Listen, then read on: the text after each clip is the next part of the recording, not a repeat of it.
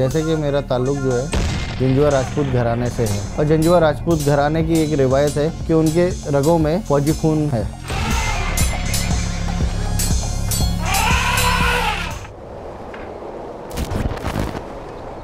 आज़ादी से पहले एक वक्त ऐसा भी था, जब वतन के लाखों जाबाज सिपाही एक ऐसी जंग लड़ रहे थे, जिससे भारत की आज़ादी का कोई ताल्लुक नहीं था। अंग्रेज़ों के बढ़ते जुल्म से उसी फौज के अंदर देश की आज़ादी की चिंगारी उठी। उसी चिंगारी से एक फौज ऐसी भी बनी जिसका मकसद था हिंदुस्तान की आज़ादी। और फौज का नाम था आज़ाद हिंद फौज। जैसे जनरल शाहनवाज साहब ने नेताजी की आज़ाद हिंद फौज में दाखिल होके, चलो दिल्ली का फैसला लिया तो उनके दिमाग में कई चीज़ें ये भी आई कि मेरा सगा छोटा भाई इंडियन आर्मी से मेरे सामने आएगा। उन्होंने जंग लड़ी। भाई भी सामने आया भाई के भी गोली लगी लेकिन उन्होंने कभी भी हल्की सी भी शिकन उनके माथे पे नहीं थी एक रिवायत है ख़ानदान की रगों में फौजी खून। तो ऐसे 80 फैमिली के मेंबर फौज में थे।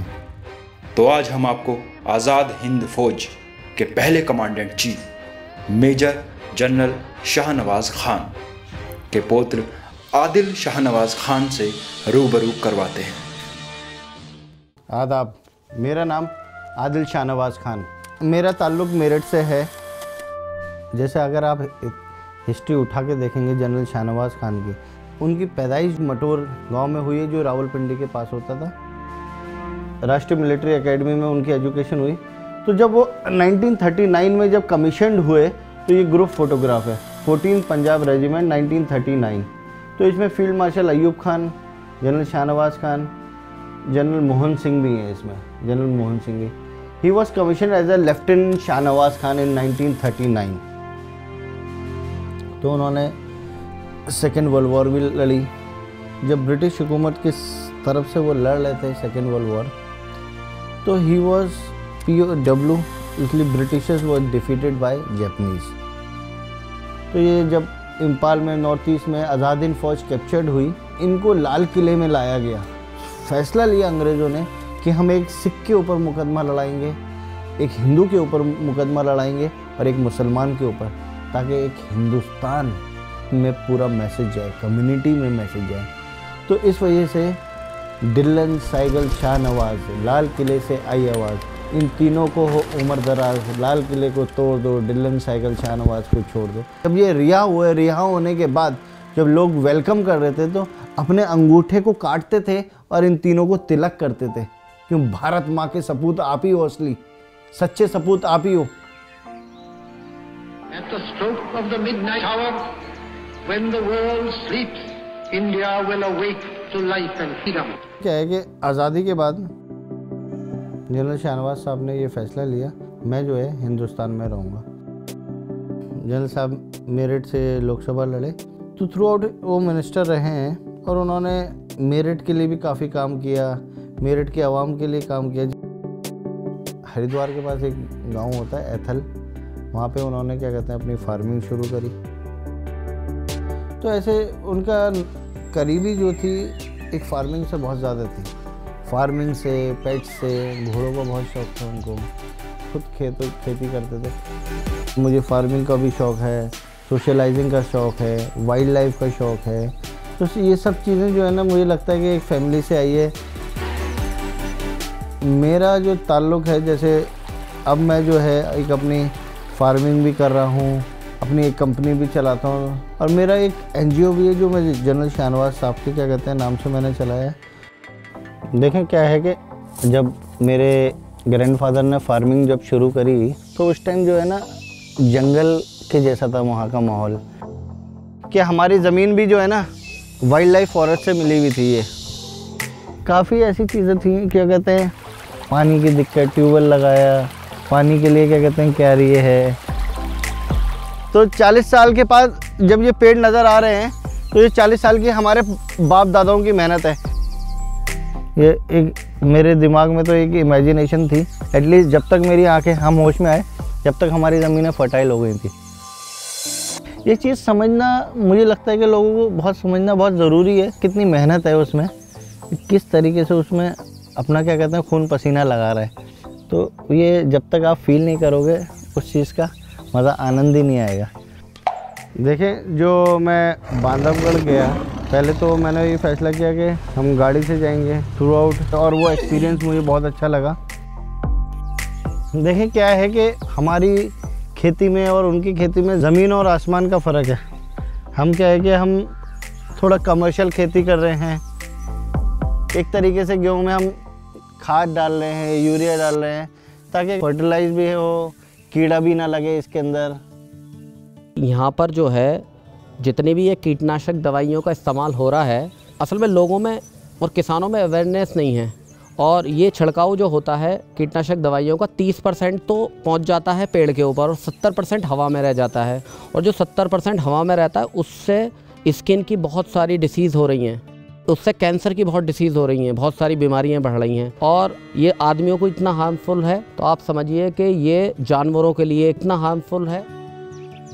अभी बहुत सारी चिड़ियों की प्रजाति ऐसी हैं जो लुप्त हो चुकी हैं और बहुत सारे ऐसे जीव हैं, जैसे कैचुआ है, बहुत कम मात्रा में हो रहा है, सिर्फ़ दवाई की वजह से। यहाँ इतनी जागरूकता है ही नहीं।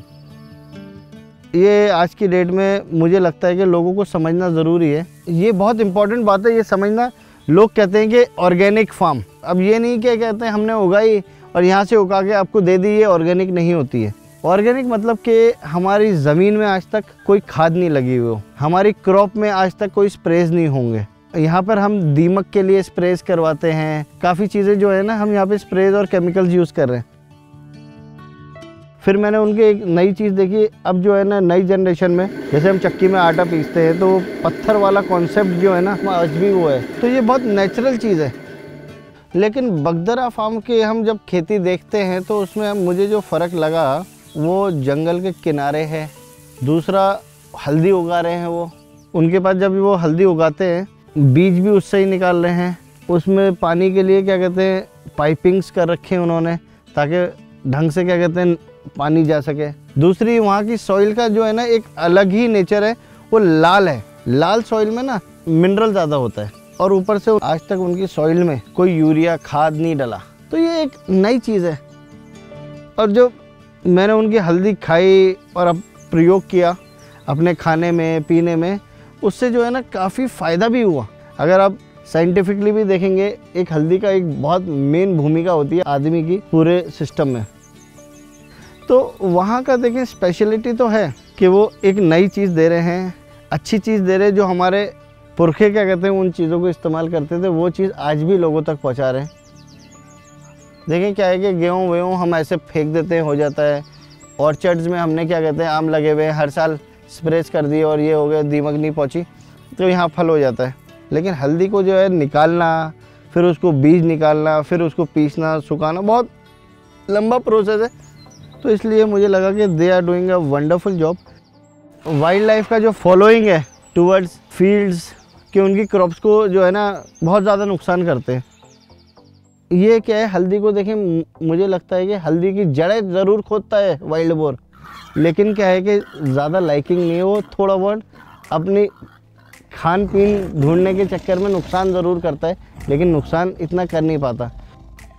बगदरा फार्म्स के लोगों ने क्या किया कि देखो क्या है कि आपके रहन सहन के लिए माइग्रेट ना हुए, आप दूसरे शहर जाके कोई नौकरी ना करें।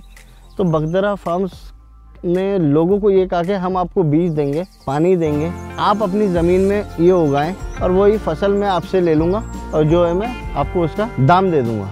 उनको क्या है कि उनकी ज़मीन का से जो है ना उनसे रेवेन्यू जनरेट हो गया। वहाँ उन लोगों को काम मिल गया। देखें, क्या है कि बगदरा फार्म जब हम गए तो हमने देखा क्या कहते हैं कि उन लोगों ने बहुत मेहनत करी। हल्दी की खेती जो है ना, काफ़ी मुश्किल है। वो समझना बहुत आसान नहीं है। जब आप देखेंगे, जब ही समझ पाएँगे, बगदरा का जिस तरीके से फ़ार्मिंग कर रहे हैं, उन लोगों ने जोता, पानी लगाया। सही में एक मेहनत वाला जॉब कर रहे हैं और आप तक पहुँचा रहे हैं। अच्छी बात यह है कि बगदरा की सॉइल के हिसाब से हल्दी जो है ना, बहुत सूट करती है। जैसे यहाँ की सॉइल जो है ना ऑर्चर्ड्स ज़्यादा सूट करती है। अब अगर हम हल्दी यहाँ उगाएँगे अभी उगेगी, लेकिन वो न्यूट्रिशनल वैल्यूज़ जो है ना, इस सरजमीन पे नहीं हो पाएगी। दूसरी बात, मैंने बगदरा फार्म्स में ये देखा कि वो किसी फ़ायदे के लिए काम नहीं कर रहे। उनके पीछे जो है ना, सिर्फ़ एक भूमिका मुझे नज़र आती है बगदरा फार्म्स के। काम के पीछे ईमानदारी और उनके पास ये एजेंडा है कि हमें अच्छी चीज़ पहुंचानी है लोगों तक। मैंने बगदरा फार्म्स में जब पूछा कि कहाँ कहाँ पहुँच चुकी है ये हल्दी नंबर तो बताए नहीं। मैं सिंपल सा बताया कि देखें 1200 पिन कोड्स में जो है ना इंडिया में लोगों तक पहुँच चुकी है और लोग इसकी टेस्टिंग कर चुके हैं। अब मैंने कहा कि इसके सर्टिफाइड वैल्यूज़ क्या हैं? तो सर्टिफाइड वैल्यूज़ इंडिया भी काफ़ी लैब से सर्टिफाइड हो चुकी है और ये तकरीबन बता रहे थे कि 40 के करीब वर्ल्ड में 40 देशों में लोग हल्दी यूज़ कर रहे हैं बगदरा फार्म्स की और मैसेजेस आते हैं और कई फॉरनर्स भी आके बगदरा फार्म्स का एक्सपीरियंस और उस चीज़ को, जो चीज़ हम करके आए फॉरनर्स उस चीज़ को भी एक्सपीरियंस करते हैं कि बगदरा फार्म्स क्या है। इससे बढ़ के कुछ नहीं हो सकता। दिस इज़ द बेस्ट ये लगता है कि लोगों को जो है ना ऑर्गेनिक की तरफ़ जाना चाहिए। देखिए, हमें सेहत का ख्याल रखना है और आपस में प्यार मोहब्बत से रहने का, हमारी ज़िंदगी जो है सफ़र बीतेगी धन्यवाद।